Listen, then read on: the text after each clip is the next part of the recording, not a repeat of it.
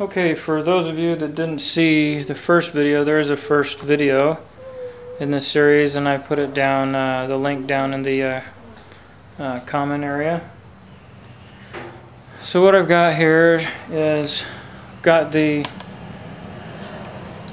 management system set up, and uh, you don't necessarily need to use anything extravagant like this or you could actually use um, a big a big container like a three three gallon container would work.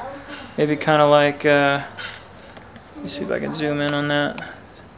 That's a I think that's a four gallon three gallon container for the uh, semi unit um, that would work great on something like this.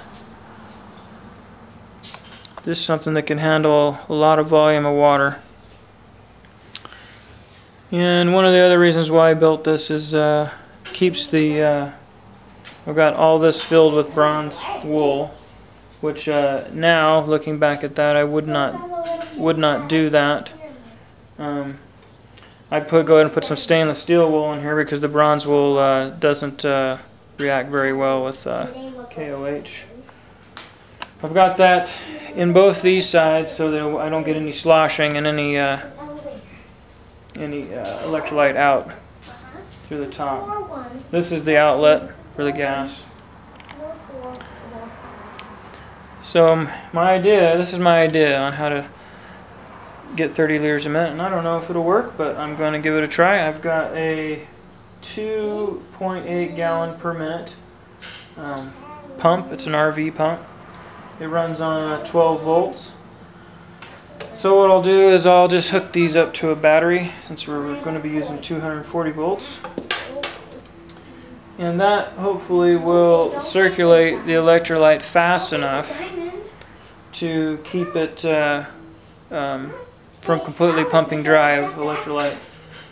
Also getting the bubbles away from the plates so that they have room to generate more. So what I've got here is both the uh, outlets ports on the bottom here. And they're going to go into the pump. The pump's going to draw in from both sides into the pump, then out to the bottom of the generator.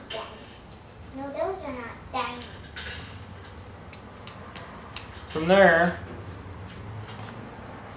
it's going to exit out the top of the generator through these two ports and into these ports. I can get that, get that in frame. Into these ports here. Then the hydroxy is going to bubble up and out this output. From there, it's going to go into this. This is about a gallon pretty big bubbler. Into this bubbler.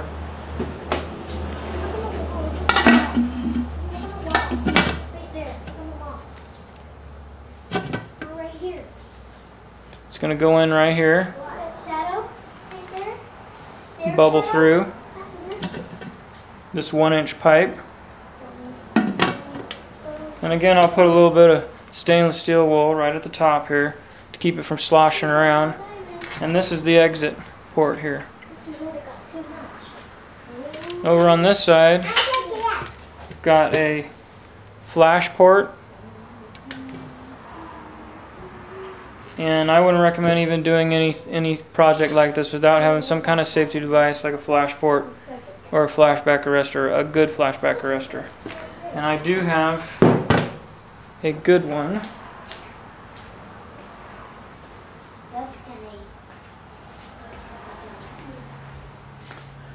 This one here, might have seen this in one of my other videos.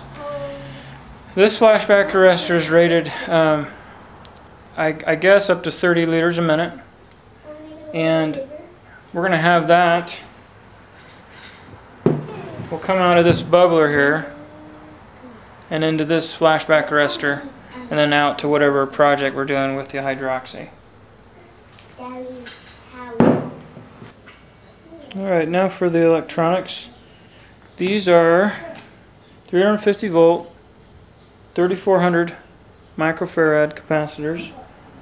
What they do is they smooth out any voltage spikes that we'll get coming out of the uh, gas generator so that we get a nice clean smooth even voltage going into the hydroxy generator. I believe that they do increase the efficiency of the cell slightly because of the smoothing that they have on the uh, power going into the cell. On one end of this, I've got a what is this? This is a 30 amp twist lock 240 volt plug. This is going to go into the gas generator.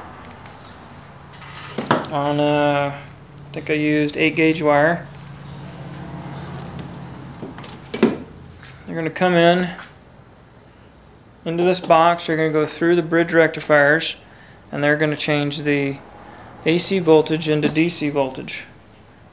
It's got on a 30 amp breaker. Basically, this is my on off switch. From there, they're going to come out of the rectifiers, out of the box, with positive and negative DC, right into the hydroxy generator.